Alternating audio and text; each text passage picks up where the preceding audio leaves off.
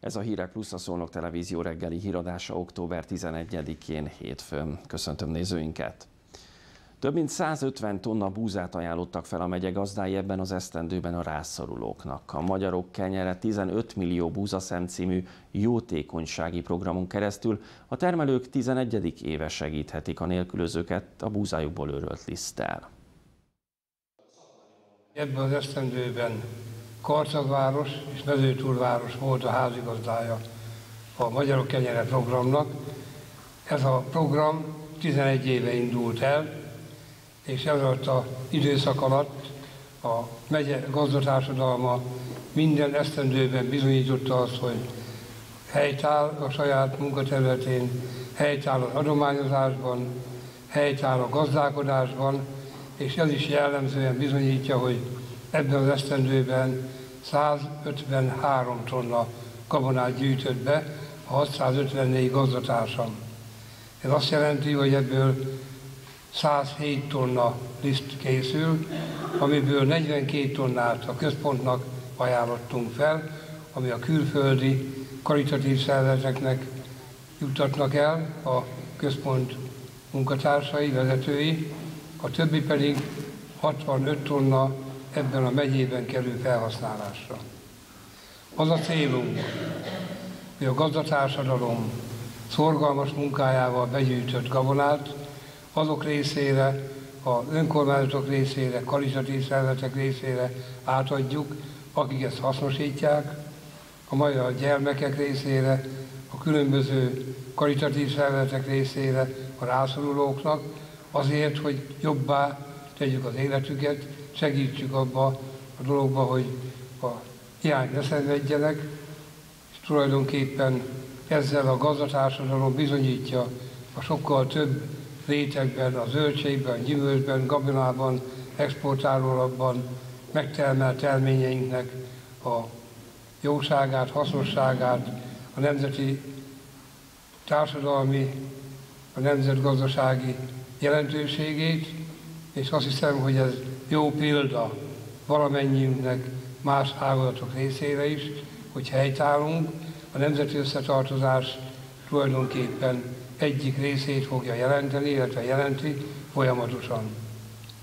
Azt gondolom, hogy ezzel a teljesítménnyel, ezzel a példamutató munkával tudjuk bizonyítani azt, hogy a nemzeti összetartozás valamennyiünk nagy érték, nagyon nagy hagyomány, nagyon nagy értékőrző, értékfelhasználó, értékmegtartó tulajdonság. Őszinte öröm ez minden évben Jásznekon Szónok megyében, hogy amikor beköszönt az ősz, és számot vetünk az elmúlt év eredményeiről, munkásságáról, akkor számot adhatunk arról is, hogy a megye gazdatársadalma milyen módon elkötelezett abban, hogy segítse adományaival a rászorulókat.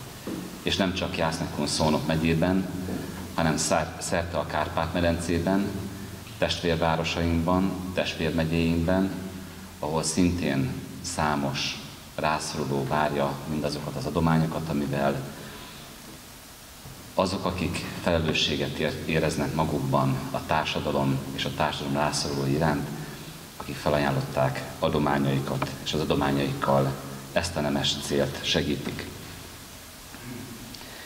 Amikor a nyár derekán Karcagon és Mezőtúron járhattunk, akkor is láttuk, hogy milyen elkötelezett a gazdák társadalma. Milyen sokat köszönhetnek annak az erőnek, amit a közösség és a közösség iránt érzett felelősség ad nekik. Milyen sokat köszönhetünk azoknak a boldog szempároknak, a csillogó tekinteteknek, akik fogadják a gazdák által felajánlott adományokat. Milyen jó leső érzés kapni, de adni még jobb.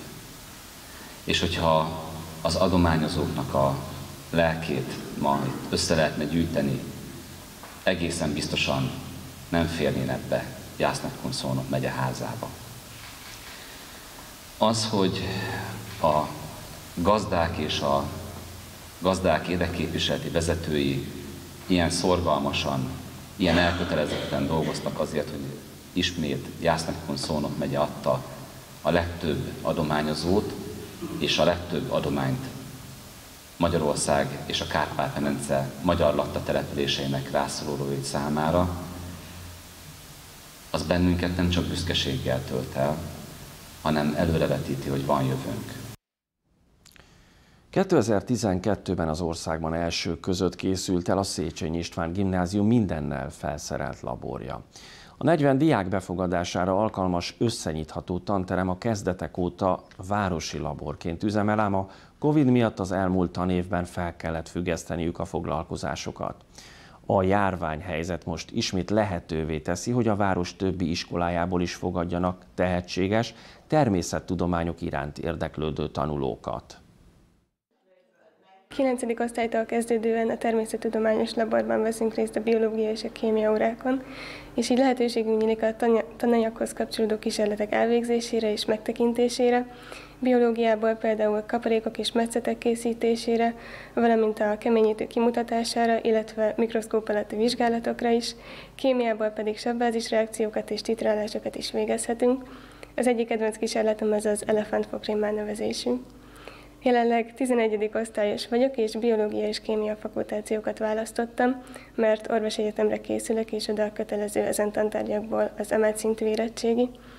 Testvérem is ebbe a gimnáziumba járt, én most negyedéves orvostal hallgató a Szegedi Tudományegyetemen, és én nagyon örülök, hogy ez a labor a gimnáziumban megtalálható, mert így felkészül, felkészülhetünk az érettségi vizsgára az iskola keretein belül, és nem szükséges átmenni másik intézményekbe és a tanárok is nagyon segítőkészek és kedvesek velünk, és bármikor gyakorolhatunk velük. Mi mindent tud ez a labor?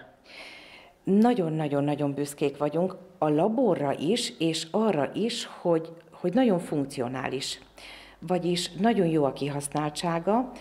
A kezdetek óta nagyon sok olyan általános iskolával, középiskolával együttműködünk, akik ugye a területünk, tehát a, ehhez a megyéhez tartoznak, de nagyon gyakran előfordul az is, hogy más megyékből jönnek ide, akár tanácsot kérni, akár jó gyakorlatot megismerni, akár egész egyszerűen kísérletezni. A kezdetek óta ez a, város, ez a laboratórium városi laboratóriumként kezdett el üzemelni, kezdett el gyerekeket fogadni, és hát ezt meg is tartotta mindmáig, azzal az icipici kis töréssel, amit sajnos ez a járvány, ez a pandémia okozott. Nagyon-nagyon örülök neki, meg hát szerintem többet magammal örülök én annak, hogy a gyerekek ismét be tudják népesíteni ezt a labort, hiszen ez értük készült. És nem csak a mi diákjainknak, hanem az összes olyan gyereknek, akik Szolnok városában vagy a környező településeken úgy érzik, hogy szeretnének egy kicsikét jobban elmélyülni a természettudományokban, mint ahogyan azt meg tudnák tenni ugye órai, tanórai körülmények között, hiszen óraszámok is viszonylag kis számban vannak, a természettudományos felszereltség sem lehetséges, hogy sem lehet olyan szuper, olyan jó, mint amilyen egy-egy ilyen természettudományos laborban elérhető. Az iskola diákjain kívül kik azok, akik igénybe vehetik ezt a labort? Milyen szakköröket, foglalkozásokat szerveznek itt? Leginkább célirányosan ami azt jelenti, hogy a Szolnok város általános iskoláiban meghirdettünk egy olyan lehetőséget, hogy azok a hetedik és nyolcadik osztályos diákok, akik vagy továbbtanulási szándékkal szeretnének egy kicsit jobban, mélyebben foglalkozni a természettudományos tantárgyakkal, vagy egész egyszerűen csak érdekli őket, és élveznék azt, hogy hogy saját kezüleg tudnak elvégezni néhány kísérletet, vagy olyan kísérleteket szeretnének a valós életben is látni, megtapasztalni, amiket addig csupán a különböző, a különböző internetes csatornákon keresztül tudtak megismerni, vagy, vagy, vagy látni. Hát őket nagyon-nagyon sok szeretettel fogadjuk, ugyanakkor van a Kassai úti általános iskolával egy olyan már hagyományként megszervezett versenyünk, ami szintén az általános iskolásoknak szól, és kísérletek délutánja névre, vagy név, névvel illetjük. A lényege a dolognak az, hogy ott ez nem egy, nem egy hagyományos verseny.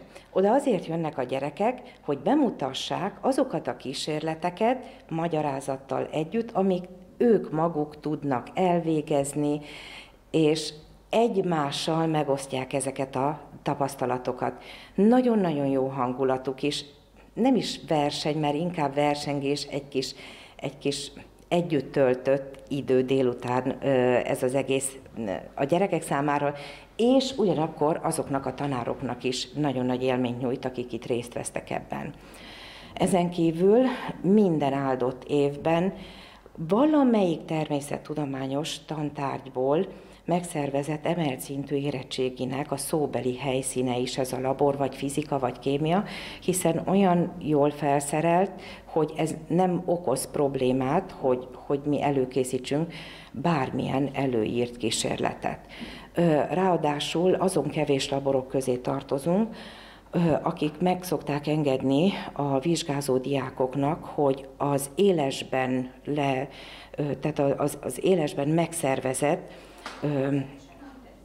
szóbeli érettségi előtt is tudnak jönni kipróbálni, méréseket végezni, kísérleteket megtapasztalni, hiszen nem mindegy, hogy milyen eszközökkel dolgozik. Kedves nézőink, ez volt a Hírek Plusz hétfőn. A hétvége és a nap legfrissebb híreivel este 19 órakor várjuk ismét Önöket. Tartsanak akkor is velünk. Szép napot viszontlátásra!